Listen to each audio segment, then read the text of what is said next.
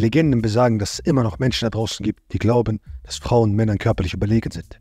Aber wir beide, wir beide wissen, Männer und Frauen sind verschieden. Girls and guys just be friends.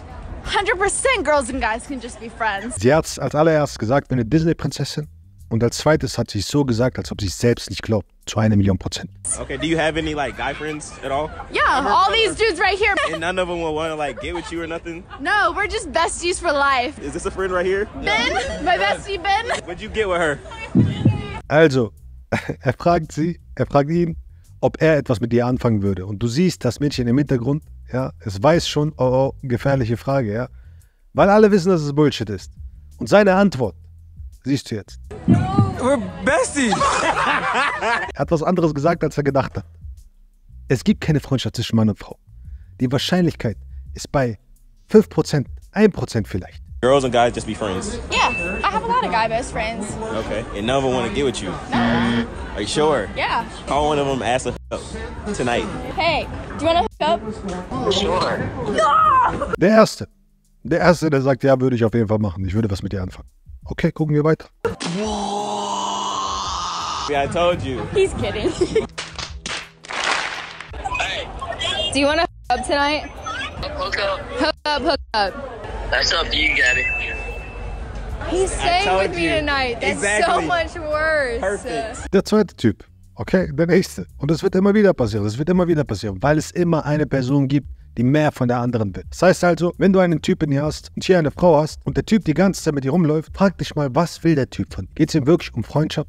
Geht es ihm wirklich darum, dass er sich so gut mit dir versteht? Ich meine, okay, wenn er sich schminkt, wenn er sich für Hochzeiten interessiert und das neue Klatschmagazin und all dieses Zeugs, dann kann er sich vielleicht mit dir austauschen, wenn er gerne redet und all das. Aber wenn er so ein Typ ist, der ins Gym geht, seine Ziele verfolgt, durchzieht, Gas gibt und die ganze Zeit neben mir herumläuft, was will er wahrscheinlich? Mit dir über Klatschmagazine sprechen oder was will er von dir? Erstens, wenn er so ein Typ ist, wird er gar keine Zeit mit dir verbringen wollen, weil er viel Besseres zu tun hat, gerade in diesem Moment. Zweitens, wenn er mit dir Zeit verbringt und so ein Typ ist, dann ist es sehr wahrscheinlich so, dass er sich einfach verliebt hat und dir die ganze Zeit hinterherläuft. Das heißt also, wenn du so etwas siehst, dann sei dir sehr im Klaren darüber, dass die Wahrscheinlichkeit sehr hoch ist, dass da eine Person mehr will von den beiden. Does height matter? Of course it does.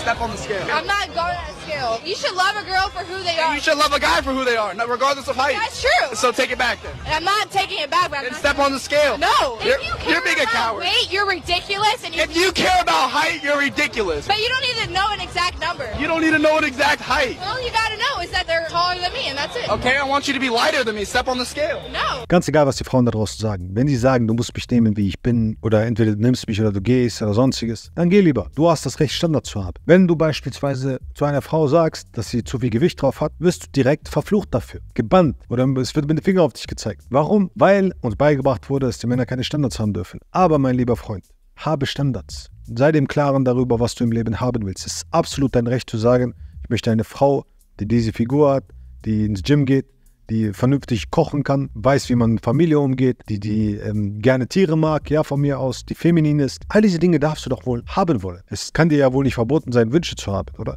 Dann kann man dir auch gleich die Menschenrechte mitnehmen. Das heißt also, das nächste Mal, wenn eine Frau vor dir sagt, nein, du musst mich so nehmen, wie ich bin, oder hm, entweder du nimmst es oder gehst, dann geh einfach. Denn sie wird dich auch nicht so nehmen, wie du bist. Sie wird dich nur nehmen, wenn du das volle Paket bist. Wenn du das bieten kannst, liefern kannst, was sie gerne haben will. Ganz einfach. Das ist okay so. Das ist vollkommen in Ordnung. Aber wenn sie das darf, dann darfst du das auch. I kind of have this theory that in general, it is bad sign to see a fighter cry on the way to the octagon, and like you are the exception. I feel like when you're very emotional, that you fight maybe even better. Não é porque você tá chorando por uma coisa de tristeza, tô chorando por uma alegria. Cara, foi um molequinho dentro da favela. Tudo isso aqui que eu vivo aqui é fora da minha realidade. Então você para aqui e fecha os olhos e você lembra lá atrás de poder comer, o quanto que eu não tinha nenhuma bicicleta pra poder pedalar. Tudo que eu vivo hoje. Ich werde immer wieder und wieder gefragt, dürfen Männer weinen, dürfen sie emotional sein und all das. Sei emotional, also weine, mach all das. Ja, genauso wie Oliveira hier. Er weint, ja, aus Freude. Nicht, weil er traurig ist. Er sagt also hier, ich komme in den Kampf und ich weine, weil ich glücklich bin, weil ich zufrieden bin. Ich habe damals nichts gehabt und jetzt habe ich es. Es ist nichts Schlimmes daran, emotional zu sein und Freude zu verspüren. Aber er sagt auch, es ist nicht Trauer, es ist Freude. Das ist ein verdammter Unterschied. Die meisten Männer aber sind Jammerlappen, Softies. Sie sitzen vor ihrer Frau und suchen eine Frau, die, die ihnen zuhört und äh, mein Leben ist ha hart und sch schwer und ich weiß nicht, was ich machen soll und kannst du mir helfen, bitte? Das ist das, was sie machen. Sie heulen sich bei ihr aus. Was bringt es dir, dich bei dir auszuheulen? Was? Sie ist doch nicht diejenige, die das Problem lösen. Sie ist auch nicht dafür zuständig. Was bringt es dir vor, ihr emotional zu werden?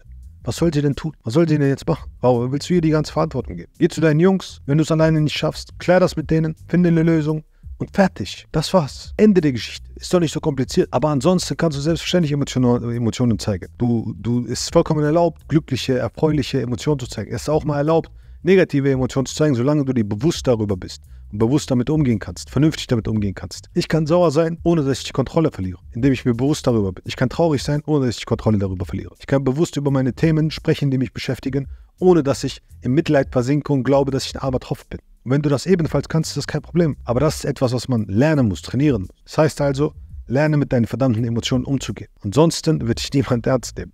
Sie erst recht. You fight dirty, and what I'm hearing is you talk to your you talk to your man like a woman. No. Oh yeah, you do. Because if you talk to him like a like you should talk to a man, you should know from a safety standpoint that you need to keep your mouth closed. See, when when two men are talking, there's a low level threat of violence. If I'm sitting here talking to a man, I know their lines. I can't cross certain lines with any man. I don't care how big or small he is. After a certain line, we're gonna have to shoot the fair one. Right. you, you will go damn well low because you know good and well he ain't gonna do nothing. Wenn du mit einer Frau sprichst und sie wird respektlos, geh einfach. Denn du weißt selbst, wenn du mit einem Mann respektlos sprichst, passiert Folgendes. Es gibt auf die Schnauze. Ja, warum? Weil es eine Regel zwischen uns gibt. Ja, zwischen Männern gibt es Regeln. Wenn ich vor einem Mann bin und respektlos werde, dann kann es ganz schnell hitzig werden, zu einem Gefecht kommen, okay? Und ich könnte mit einem blauen Auge nach Hause gehen. Das weiß ich. Deswegen achte ich darauf, dass ich einen vernünftigen Ton an den Tag lege und nicht frech werde oder nicht respektlos werde, weil ich weiß, was für Konsequenzen dahinter sind.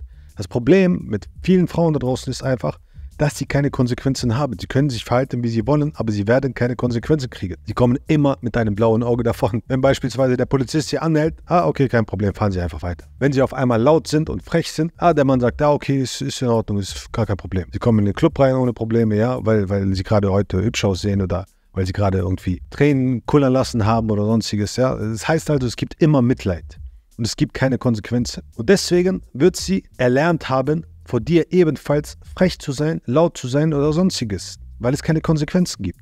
Und wenn du nicht bereit bist, einfach zu gehen und nicht dieses Spiel mitzuspielen, wirst du verlieren, weil sie den längeren Hebel hat. Weil was willst du machen? Im Typen würdest du auf die Schnauze hauen, im schlimmsten Fall. Aber bei ihr kannst du nichts machen. Also geh lieber einfach. Spar dir die, diesen Stress, spar dir deine Gesundheit, weil deine Lebenszeit wird einfach automatisch verkürzt, dadurch, dass sie diesen Stress in dir auslöst. Willst du das? Nein, willst du nicht. Also geh einfach. Genieße dein Leben, habe Spaß, sei frei, sei der Mann, der du sein willst. Nur das Beste von ganzem Herzen. Let's go, Champ.